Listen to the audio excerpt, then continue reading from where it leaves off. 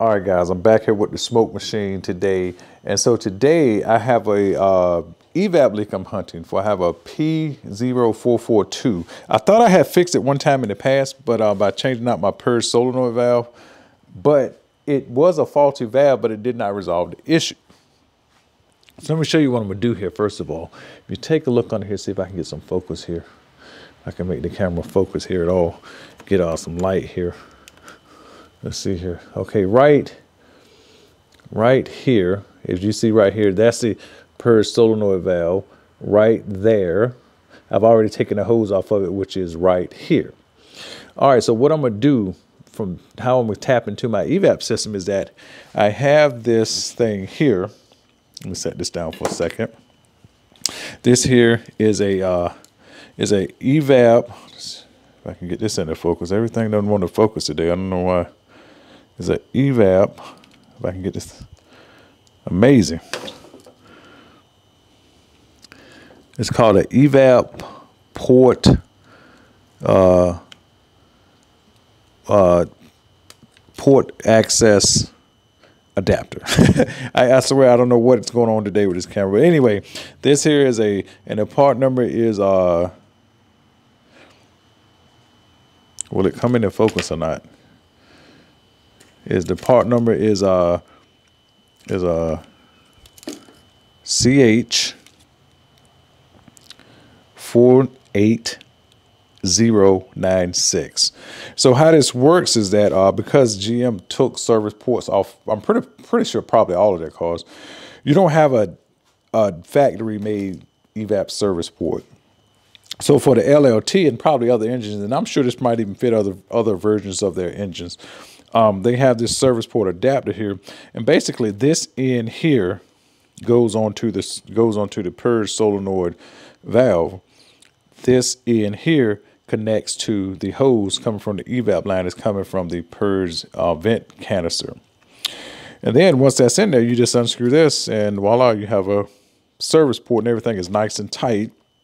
And also, I got this here that once I install it, I'm gonna screw this up here. So when I stick the um, smoke machine uh, uh, hose here, it you know all of the smoke will be going into this system, and then we are going to go to the back of the car, take a look and see around, look around the gas tank, and look around the uh, filler neck to see if we see any signs of smoke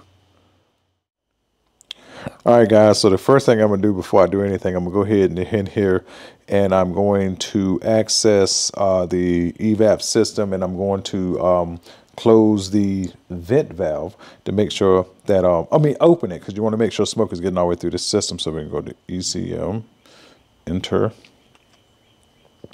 to our front drive. And we want to do actuation test, uh, evaporative emissions and we want to do just a vent solenoid. And we want to close that and uh, we're going to hit uh,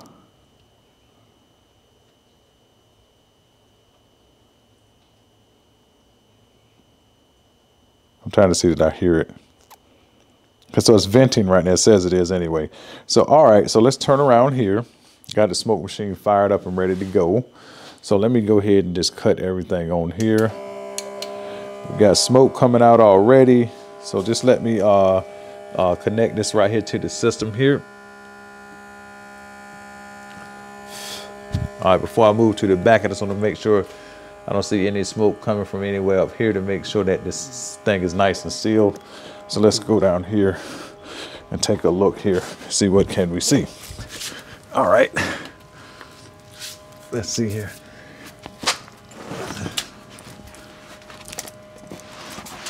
Let's see here. What? Can we see any smoke here? See if I see any smoke coming out of the purge vent valve here. Give it a few minutes because it should take some time probably to work its way to the back here.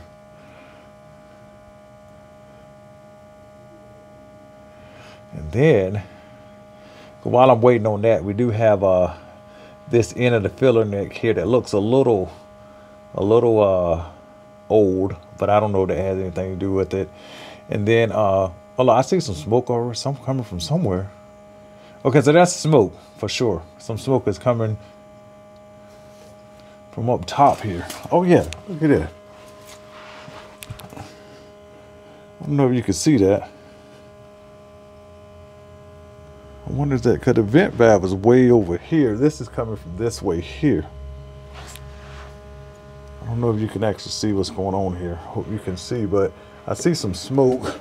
Can you see the smoke? Well, right, right here. Some smoke there coming from somewhere. All right, so that's coming from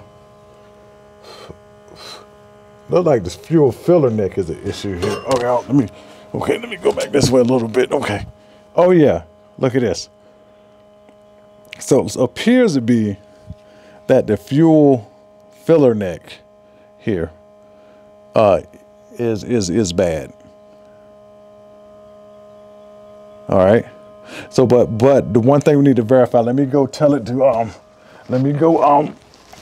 Tell it to stop venting first just just to make sure that there's no um, that there's no um, you know issue with that. So let's just say not venting. All right, so let's go back under here.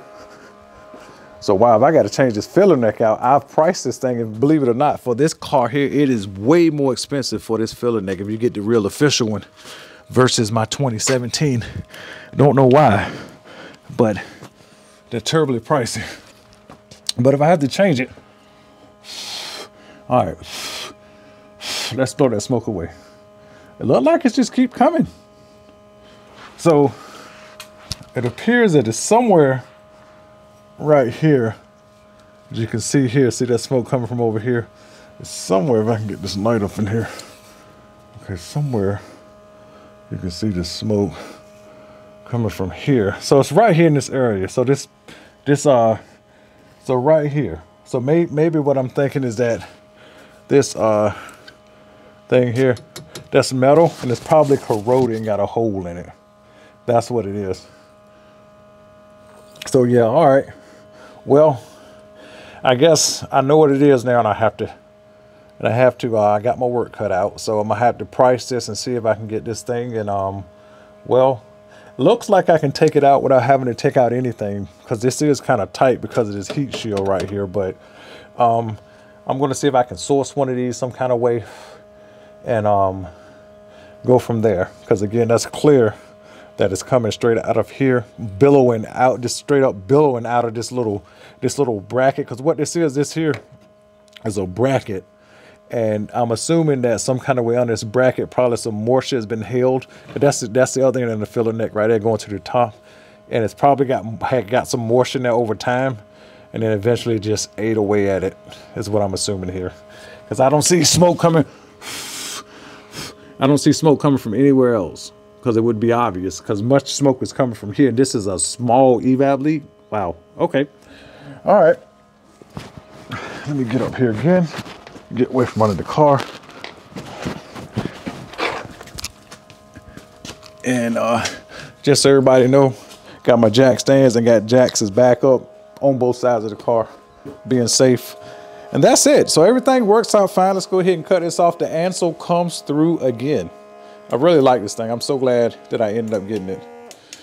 With that said, um, there will be another part to this video. I don't know when, but I'm I'm gonna try to source this part, it's this filler neck. And um, again, from what I can tell, they're pretty pricey. I'm gonna look one up on the screen. I'm gonna look one up on the internet and I'm gonna throw it up on the video so you can see how much it costs. But um, yeah, they're, they're not cheap for this car at all. So anyway, you guys take care and there will be a follow up to this video.